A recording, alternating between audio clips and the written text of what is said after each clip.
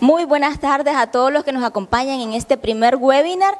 El día de hoy estaremos en el marco del plan de acompañamiento a los protagonistas para el registro de su marca. Estaremos hablando con la compañera Carla Manzanares de la Dirección de Pequeños Negocios que nos estará compartiendo la importancia del registro de marca y el proceso de registro de marca y cómo nosotros podemos enlazarlo con sus productos. Buenas tardes, Carla, ¿cómo estás? Buenas tardes, Jennifer. Eh, bien, gracias a Dios. Aquí vamos, bueno, a hablar un poco sobre la importancia del registro de marca. En especial hoy nos vamos a, a enfocar en la parte avícola y cárnicos. Entonces, bueno, para iniciar, eh, ¿qué es una marca? Y bueno, la marca es el nombre que le doy a mi negocio, producto o servicio para diferenciarlo de la competencia. ¿Por qué? Porque si yo no tengo un nombre, ¿cómo me van a encontrar? Es decir, vos como Jennifer eh, creaste una jalea, pero si no le pusiste una marca eh, y viene alguien y la probó y dice, ah, sí, fíjate que me gustó esa jalea, ¿y cómo se llama? Y tal vez no tenés el nombre, entonces no podés recomendar tu producto a otras personas. Es la manera en cómo nosotros nos vamos a proyectar en el mercado. Así es. Entonces, por eso es importante eh, darle un nombre siempre a nuestros productos. Eh, y aquí, bueno, ahora pasamos por qué es importante, ¿verdad? Ya nos adelantamos un poquito. ¿Y por qué es importante la marca para mi negocio? Bueno, ya como te comentaba, uno de esos puntos es para que nos puedan reconocer. Eh, también porque es la fuente de una promesa que le damos a los consumidores para que mi marca sea confiable porque como ya te decía, pues eh, si no, no me van a poder encontrar. Tampoco le, estoy dando eh, algo eh, para que me reconozcan y me busquen en otros lados. también porque es cómo nos identifican en el mercado y le hace más fácil al consumidor adquirir un determinado producto que tengamos. también nos da la posibilidad de comprar, eh, al no tener una marca nos da la posibilidad de comprar un producto genérico, es decir, de nuestra competencia. Así es, y esto permite que la gente pueda conectarse con lo que vos estás desarrollando, con tu emprendimiento, porque la marca te da una identidad. Entonces la gente al probar el producto que tiene tu marca, entonces le es más fácil poder ubicarte en los diferentes puntos donde vos estés comercializando. Así es, porque sí, como, como ya te comentaba, pues eh, si no, ¿cómo me van a buscar a mí? Es como el ejemplo que te daba, pues, de las aleas, si no, eh, pues, y suele sucederle a muchos protagonistas que tal vez no tienen un nombre y su producto es muy bueno. Entonces, por eso es importante la marca para que nos puedan identificar en el mercado, ya sea que quizás no, no estén todavía en los supermercados, pero sí eh, que vendan desde su casa, que vendan en una página en línea, en diferentes pues, plataformas, o bien en las ferias que se promueven desde el ministerio y de esa forma irse posicionando, ¿verdad? Así Siempre Con, un diseño de marca. Y aquí esto cabe eh, resaltar de que la marca es básicamente eso que nosotros construimos, ese logotipo, esa imagen que nosotros construimos, que le va a dar un sentido, que le va a dar una, una identidad a nuestro negocio. Así es. De hecho, la marca es como el nombre que, le da, que nos dan a nosotros cuando nacemos. Es decir, que si nosotros no tuviéramos un nombre no nos podrían eh, reconocer, porque hay muchas personas que nos conocen, pero si no tuviéramos un, nombre, ¿cómo nos llamarían? Entonces, igual pasa con los productos o con los servicios. Debemos ponerle una, marca para que nos puedan identificar. Perfecto, excelente. Eh, bueno, para continuar, este, la marca y el valor agregado. Bueno, el valor agregado es un valor adicional que se le da tanto al producto como al servicio ¿Y cuál es el fin de esto? Que sea aceptado fácilmente por los consumidores y en ocasiones que estén dispuestos a pagar un costo más alto por nuestros productos o servicios. ¿Por qué? Porque eh, suele suceder con muchas marcas. Eh, puede incrementar su, su precio. Eh, un claro ejemplo de esto es esta marca bastante reconocida, Nike. Sus zapatos son bastante altos y sin embargo la gente los paga ¿Por qué? Porque o sea, ya es una marca que está muy posicionada en la mente de todos los consumidores. Entonces, eh, eso nos va generando este valor agregado para nuestra marca. Y sobre todo lo que la marca representa para los clientes, porque por ejemplo Nice, vos lo ves y Nice está dirigido para un segmento, un sector. Entonces, cuando vos compras Nice, vos estás eh, comprando eh, comodidad para poder correr, para poder hacer ejercicios, para poder ir y caminar, ¿verdad? Así es. Entonces, con respecto a esto, al rubro que estamos mencionando hoy en la parte de los avícolas y cárnicos, Entonces, ese puede ser nuestro valor agregado a estos productos. ¿Por qué? Porque tenemos en la parte de los cárnicos eh, lo que son cortes de exportación. Entonces, ya le vamos agregando ese valor a nuestra marca. Igual con, los pollos, pues también hay pollo, eh, eh, lo que es de exportación, huevos que son un poco más, más grandes, todo lo que se puede, los derivados que tienen estos rubros. Y igual pues con la carne, como ya te decía, en la parte de los cortes de exportación. Qué importante es eh, para todos aquellos emprendedores que están desarrollando sus iniciativas a través de la crianza de aves, a través de la crianza de codornices y todas estas especies para que ustedes puedan ir creando una identidad, creando una marca que se pueda ir posicionando en el mercado para que cuando ustedes ya puedan ir comercializando de, una mayor, eh, en mayor volumen, ustedes pues ya tengan posicionado eh, su marca en un mercado. Así es. ¿Y cómo pueden elegir una marca estos tipos de, de negocio? Eh, primeramente deben elegir una marca que represente la identidad del negocio. Algo también importante es de que la marca no sea estos nombres extensos que les ponen o eh, difíciles de mencionar exactamente o largos pues porque no van a crear de que el cliente este recuerde su marca entonces es muy importante de que la marca sea corta ¿Por qué? Para que les sea fácil de leer, pronunciar y memorizar a los, futuros clientes. También que sea una marca activa, enérgica, versátil, que pueda eh, transmitirle confianza, como mencionábamos al, al inicio. También que les pueda transmitir valores, aparte de que sea adaptable, creíble y versátil. ¿Qué pasa, eh, Jennifer, que, que creo que lo hemos vivido todo desde el ministerio con los negocios? Siempre todos los negocios vienen con el nombre bendición de Dios.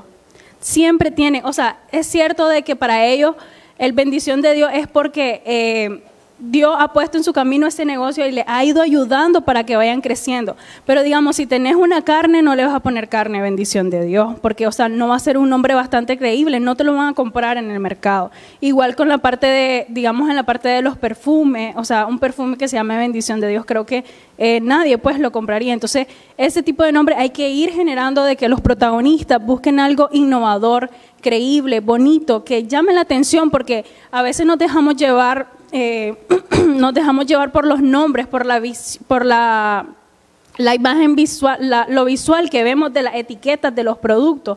Entonces es bueno pues que ellos sepan todo esto y vayan pues modificando su marca, incluso hasta eh, cambiándola a través del tiempo.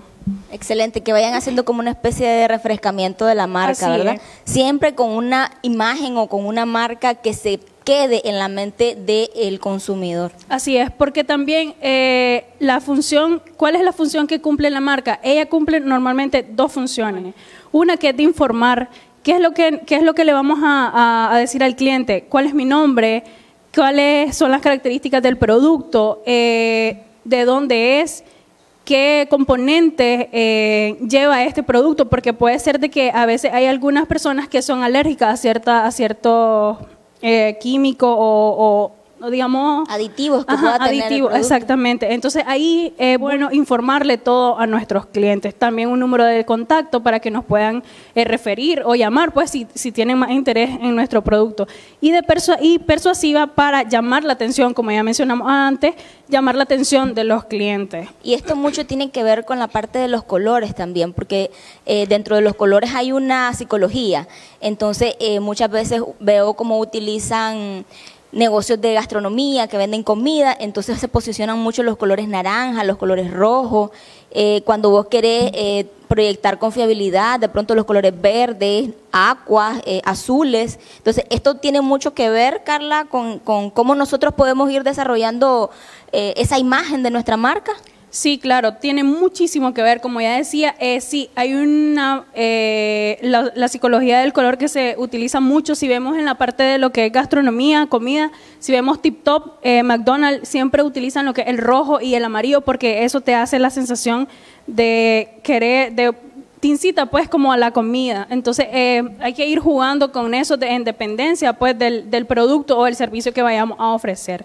Eh, para irte mencionando también en la parte de marca, ahorita que tocamos la parte de los colores, eh, hay distintos tipos de signos distintivos que se pueden registrar como marca. Una de ellas pues es la marca, otro es el emblema que es el diseño que le damos, eh, lo que son marcas colectivas, digamos como lo que son las cooperativas que entran dentro de esta parte, el nombre comercial que, digamos, ejemplo, Unilever, para hablar de, hablando de grandes empresas, Unilever, esa es su, como su nombre comercial, pero en sí ellos tienen otros, otros nombres. Entonces van dentro de su, de su, perdón, de su nombre comercial, pero ellos tienen una marca. Entonces, la gran, el nombre comercial es el general y adicional que vienen sus marcas pequeñas. O una señal de publicidad y una denominación de origen también es registrable, como por ejemplo eh, si fuese Ometepe o rosquilla somoteña, esto eso son como denominaciones de orígenes de, de acuerdo al producto, porque las rosquillas pues son bastante originarias de ese lado, de Somoto, entonces así vienen las denominaciones de origen. Entonces, qué importante es que nosotros vayamos conociendo todos estos tips para que cuando identifiquemos cómo va a llamarse nuestra marca, podamos saber de que no podemos utilizar este tipo de denominación, ¿verdad? Porque son de origen y entonces son susceptibles para hacer el registro cuando ya nosotros queramos hacer el proceso de registro de marca. Así es, porque cuando vayan al registro, pues no se lo van a permitir registrar. De entrada, pues les van a decir, esto no es registrable. Entonces lo que queremos es de que esto no suceda. Entonces, por eso se les van dando este tipo de tips a todos los, a todos los, emprendedores para que no cometan pues este, este tipo de, errores.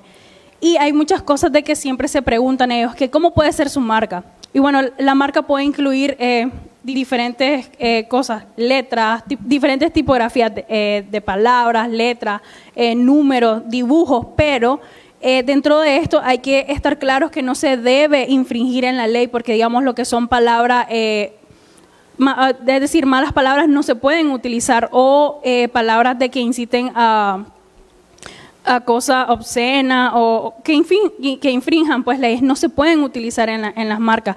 Eh, tuvimos un caso de la, una cerveza, la cerveza Brahman, que o sea, eh, no es una marca registrable, pues. Entonces tienen que también tener cuidado en este tipo de cosas, de que no sea algo que vaya a ofender a otras personas, porque a veces muchas muchas veces, perdón, muchas veces pasa esto que la gente se ofende con, con algunas marcas así.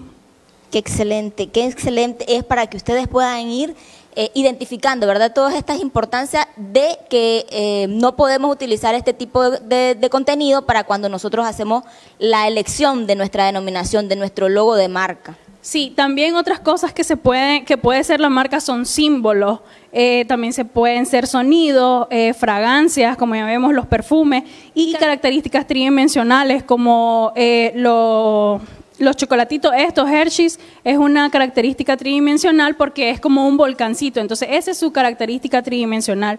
Eh, también eh, hay un sinnúmero pues, de, de, marcas así, de esta, de esta... Que utilizan este tipo de, características. Sí. Y lo vemos también, por ejemplo, eh, en las botellas de vino, en los licores, que de pronto eh, no es la, botella convencional, sino que tal vez es una botella cuadrada con el pico largo o una botella triangular. Sí, incluso Coca-Cola, si vemos desde su inicio, ellos han venido haciendo eh, cambios en su, en, su, en su forma de la botella. Y pues hay algunos ejemplos como los que ya te mencionaba, como pueden ser, que es la parte tridimensional, el chocolate Hershey's, lo en la parte de números como 3M, en la parte de letras como la marca de JLo y este, lo que son imágenes, eh, un ejemplo de esto es la muy conocida iPhone, que siempre su, todo mundo lo reconoce por la manzanita. Entonces así tenemos varias. Y podemos combinar números con letras y con imágenes, ¿verdad? Sí, vamos a ir desarrollando un poquito más adelante cómo puede ser la marca, porque dentro, o sea, puede ser este tipo de cosas, pero también se pueden eh, vincular. Entonces, con la marca también pueden ser fantasiosas. Y las fantasiosas son eh, palabras inventadas que no necesariamente tienen un significado. Eh, no sé si has visto algún restaurante que se llama Chic Chac que es bastante famoso aquí en, Managua. Entonces, Chic Chac no te da ningún significado. Entonces, así pueden ser nuestras marcas. Claro que siempre tener en mente lo que no se lo que no es eh, conveniente de así detallar dentro de tu marca. Así es. Otra de las marcas pueden, son las arbitrarias y estas consisten en palabras que tienen un significado, pero no necesariamente hacen referencia a nuestro producto o servicio. Otra de estas pueden ser sugestivas, que hacen referencia a uno o varios atributos del producto. Pero eh, no aquí hay algo que eh, las marcas no pueden ser tan explícitas. Es decir, que si vendes tajadas, no le puedes poner tajadas a tu, a tu negocio porque es una marca demasiado explícita, entonces no, no te lo van a registrar. O en, la, en el caso de lo que venden pollo, eh, o carne, no puede, o sea, no puede ir así porque está haciendo referencia directamente a, lo, a tu producto. Entonces hay que irlos cambiando y jugar con ese tipo de...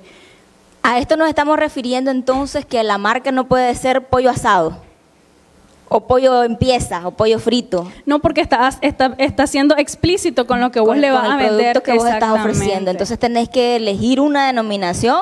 Eh, Picky Halley pollos asados, por ejemplo. Podría ser, podría ser, pero no necesariamente hacer referencia como tal al producto, porque no. Perfecto, excelente. Otra de estas puede ser denominativa, que son aquellas formadas por palabras, letras, dígitos u otros caracteres. O la figurativa, que son las que llevan imágenes, eh, combinaciones de colores, símbolos o dibujos. Y las más conocidas que son las mixtas. Aquí ah, la pregunta que me hacía si se podían incluir imágenes, letras, colores. Entonces esta es una de las marcas y que también eh, son las más recomendables para los pequeños negocios, las marcas mixtas. Porque aquí va la combinación tanto del nombre como de algún elemento gráfico o colores tridimensionales. Entonces para los pequeños negocios así, tal vez como los pollos, las carnes, la parte láctea, queso y todo eso, eh, pueden utilizar, utilizar más este tipo de marcas. Qué excelente, qué excelente información para que nosotros vayamos tomando nota para la elección de nuestra marca de emprendimiento. Así es.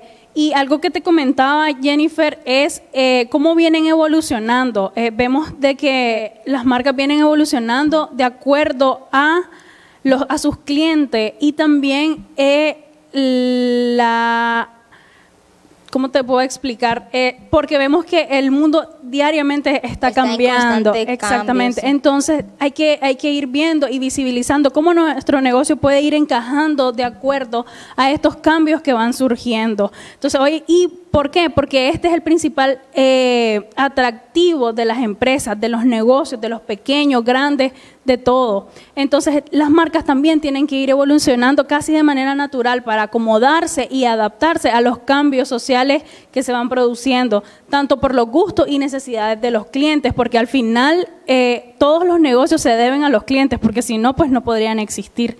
También porque eh, le dan una comunicación al cliente que va más allá del producto porque a veces los clientes se sienten muy identificados con una marca. Entonces hay que ir viendo todo, todo ese tipo de cosas para nuestra marca.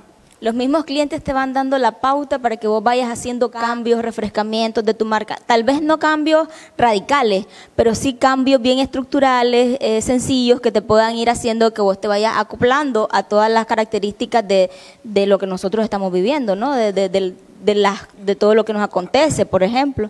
Así es, tienen que estar siempre, al final, no como, te, como te decía, o sea, se deben al cliente, entonces siempre tienen que ir escuchándolo al cliente, también en los productos deben de eh, ir mejorando los productos, porque a veces pasa de que cuando estás iniciando, tal vez tu producto vos crees de que es el mejor producto, pero eh, tal vez algún cliente eh, lo probó y hay algunas cosas que no le gustó y tal vez te puede hacer el comentario. Entonces siempre tenemos que escuchar a nuestros clientes porque al final, como ya te dije, eh, los negocios se deben a sus clientes porque ellos son los que van a consumirlo. Entonces, qué mejor que escuchar lo que ellos, lo que ellos tienen para decirte. un ejemplo de cómo han venido evolucionando, yo traje dos ejemplos. Uno fue Coca-Cola, que desde su inicio, su, si vemos su su logo, su marca era en blanco y negro. Y así ha venido evolucionando a través del tiempo a lo que, a lo que tenemos hoy, que es un color, eh, lo combinan tanto el rojo con el blanco y así sucesivamente ha venido cambiando. Otro ejemplo es este Pepsi, que también ahí podemos ver cómo iniciaron con una letra eh, como cursiva y han venido cambiando, incorporándole elementos, quitándole elementos. Entonces siempre hay que, como ya mencionamos anteriormente, eh, pensar en, el, en, el, en nuestros clientes y cómo viene cambiando pues todo en el, en el mundo. ¿Cómo vienen adaptándose? En el caso de Coca-Cola veo como ellos han venido incluso incorporando nuevos elementos cuando eh, no cambian la terminología, ¿verdad? Pero sí cambian colores, incorporan la botella. Eh, lo mismo pasa con Pepsi, cómo han venido evolucionando, incorporando quizás detalles que los mismos clientes a través de eh, encuestas, a través de comentarios puedan ir dándole para ir mejorando. Sí, es bueno también eso en la parte de los empaques, porque puede hacer de que puedas cambiar tu marca, pero al mismo tiempo puedas jugar con el empaque que le das a, a tus clientes. Ejemplo de esto, pues siguiendo con el ejemplo de Coca-Cola, eh, la botella que ellos tenían de cuando iniciaron y con su logo, o sea, era una presentación. Ahora vemos y vemos en el transcurso del, del tiempo cómo han venido cambiando tanto su marca como su presentación. Entonces también tenemos que vincularlo, porque al final es lo que le, lo que le mostramos a los, a los clientes, cómo nos ven en el mercado. Y algo que también te mencioné antes es de que visualmente porque eso nos impacta, porque a veces vamos al súper y vemos algunos empaques que tal vez no nos gustaron, entonces vos no le haces caso a ese tipo de producto, entonces tenemos que pensar mucho en eso, tanto en la marca como en el empaque. Otro ejemplo de esto es la leche, la leche antes se vendía en lo que eran eh, envases de vidrio, después tuvimos eh, los empaques de estas bolsitas de plástico, y así han venido cambiando, después pasaron a lo que eran envases ya de litro, de galón, ya, ya botella. Y ahora la encontramos en lo que son estos empaques de, de Tetra Pak, que también hace referencia a lo ecoamigable, porque también tenemos que pensar en eso del medio ambiente. También hay que ir jugando con todas esas cosas, tanto con nuestra marca como con nuestro empaque. Y hoy en día creo que eh, casi todas las empresas se han dedicado a eso a eh, buscar e innovar productos, eh, perdón, empaques de que vayan y siendo ecoamigables pues con nuestro medio ambiente.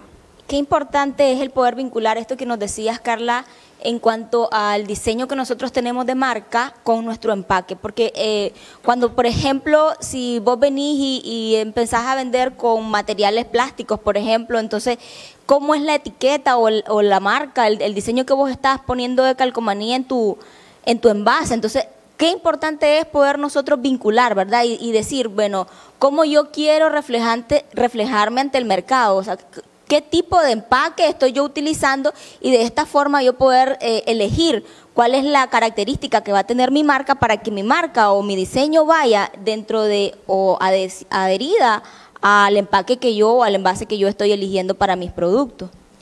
Sí, es que esto es una cuestión de vincular tanto la marca como con el empaque, como lo que yo le voy a dar a, los clientes, porque pues todo va en conjunto, no solamente la marca, claro, que el nombre que le damos también es importante, pero todo esto va al final vinculado, todo es una vinculación, porque si tengo una marca, un nombre feo, pero puede hacer de que tenga un empaque bonito. Pero si la gente se fija más en lo que vos reflejas, en los colores que le da. En lo visual, ¿verdad? Exactamente. Porque, por ejemplo, eh, de pronto tu botella de, vino, para ponerte un ejemplo, es oscura, de color oscuro, y entonces la marca o la, etiqueta que yo tengo, mi marca también es de color oscuro. Entonces, esto va a permitir que la gente no, no tenga mucha visibilidad al momento de, de, ver de qué marca es, a qué, a qué es lo que estoy comprando. Ya, entonces por eso la vinculación del poder definir o decidir una paleta de colores o un diseño que tenga que ver mucho con el empaque y con el envase que yo tengo y mi marca. Sí, porque al final no le van a, no se va a perder tanto el diseño por, por, los colores, porque porque si tienen el mismo color no van a poder diferenciarlo. No se va a ¿Y qué va a pasar? Lo que te decía al inicio, de que se van a ir por un producto genérico, que es nuestra competencia y que al final no es lo que queremos lograr. Y eh, algo que también es beneficioso de registrar la marca y porque es bastante importante esta parte de registrarla es porque eh, al registrar yo mi marca de mi negocio, ya sea pequeño o grande, eh, el Estado me otorga un derecho de que alguien más pueda utilizarlo sin mi consentimiento. O sea, hasta puede llegar a, la corte a pelear porque otra persona está utilizando tu marca. Eh, también se puede aprovechar la marca porque, ¿por qué? Porque puede cederle derecho a terceros a través de una franquicia, de una licencia o una licencia de venta. ¿Qué, puede, ¿Qué pasa con las marcas grandes? Entonces, ¿por qué no podemos Quizá ahorita somos pequeños, pero en un futuro no lo sabemos. Entonces pueden llegar a esto. También, como ya te decía, se pueden ejercer acciones penales contra terceros para usos maliciosos y obtener comisiones de, las mercancías falsificadas. También porque te da derecho a utilizar eh, la leyenda de marca registrada. Entonces todo esto es importante, así seas pequeño, grande, mediano, no importa, pero siempre tu marca es lo principal porque es el nombre que vos le das a tu negocio. Como ya te, también te dije, o sea, si, no, si a nosotros no nos pusieran un negocio, no nos pudieran identificar. Qué excelente. Entonces, para todos aquellos emprendedores, ya saben, una vez que ustedes hayan construido su marca, es importante que ustedes realicen el registro de esta marca para que no venga otra persona a querer utilizar y aprovecharse de, la calidad del producto que ustedes están ofreciendo y que ustedes puedan tener asegurado ahí esa marca. Sí, porque a veces suele suceder también, Jennifer, que... Eh, yo tengo una marca, pero viene y alguien más la vio y le gustó y se fue al registro de la marca y la inscribió. Pero como vos no la tenías registrada, yo perfectamente la puedo registrar porque hay un, hay un derecho de que te da que el primero en registrarla es el primero que se queda con la marca. Primero en derecho entonces, eh, tienen que tener mucho cuidado con eso y puede hacer de que el producto que está ofreciendo esta empresa o, esta, o este negocio sea muy bueno y viene otro, agarró tu nombre y comenzó a vender productos de mala calidad. Entonces, y quizás ya tenías un mercado.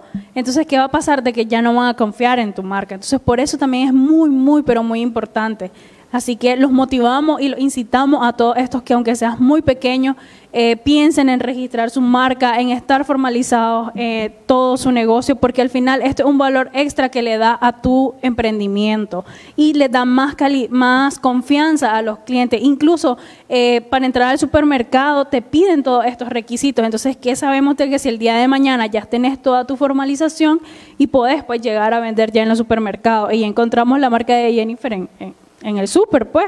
Sí, exacto. Qué importante es, ¿verdad?, de que nosotros estamos validando nuestra idea, de que nosotros estamos construyendo nuestra idea, podamos ir definiendo esto, podamos elegir un nombre que nos permita nosotros posicionarnos, una marca que nos haga reconocibles en el mercado. Qué importante es para todos aquellos emprendedores que puedan ir trabajando desde que están iniciando todos estos procesos. Gracias, Carla, te agradecemos la participación, te agradecemos mucho la información que viniste el día de hoy.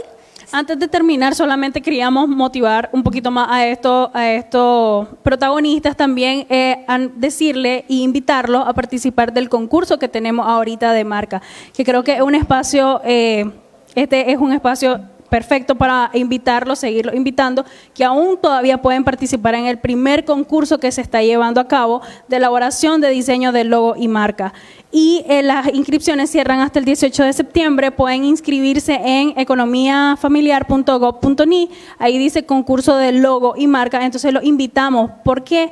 Porque aquí es una manera de ayudarle a estos protagonistas que quizás no tienen la facilidad de eh, pagar un diseñador. Entonces aquí ya tenemos diseñadores inscritos que les van a apoyar para el desarrollo de sus marcas. Entonces creo que aprovechando el espacio, le hacemos esta invitación que todavía pueden ser, eh, partícipes de estos negocios y aplica todos los rubros desde eh, servicio, comercio, eh, ahorita el que estábamos abordando, lácteos, cárnicos, transformación, todos estos pequeños negocios pueden participar. Entonces, vuelvo y les reitero la invitación para que se inscriban. Y este concurso, Carla, si me contás, ¿tiene premios? ¿Cuáles son los premios? Sí, tienen, eh, bueno, eh, se va a premiar las tres mejores marcas que se les va a inscribir su, su marca ante el registro y a los diseñadores pues también se les va a premiar, hay premios desde los 8.000 hasta los 2.000 Córdoba. Entonces también pueden participar diseñadores, ya sean profesionales o no, estudiantes pero que tengan eh, conocimiento de, la, de las herramientas que se utilizan para los diseños y también el poder apoyar a estos pequeños negocios, que al final es el objetivo,